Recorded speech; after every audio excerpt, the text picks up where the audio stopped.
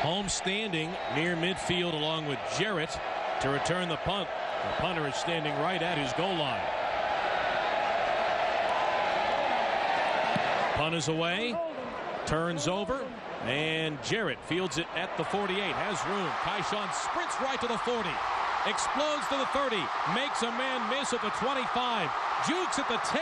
Down to the 6. And forced out of bounds there.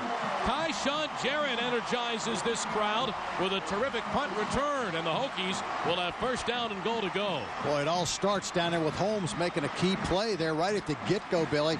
And then, boy, you talk about two moves he put on. One on Cody Tucker, who had him lined up dead to rights. And then Ben Campbell, he thought had him lined up. And he put great moves on both of those kids. Just runs right through them. He gets the ball down in excellent position at the six-yard line. First and goal for this Hokie offense.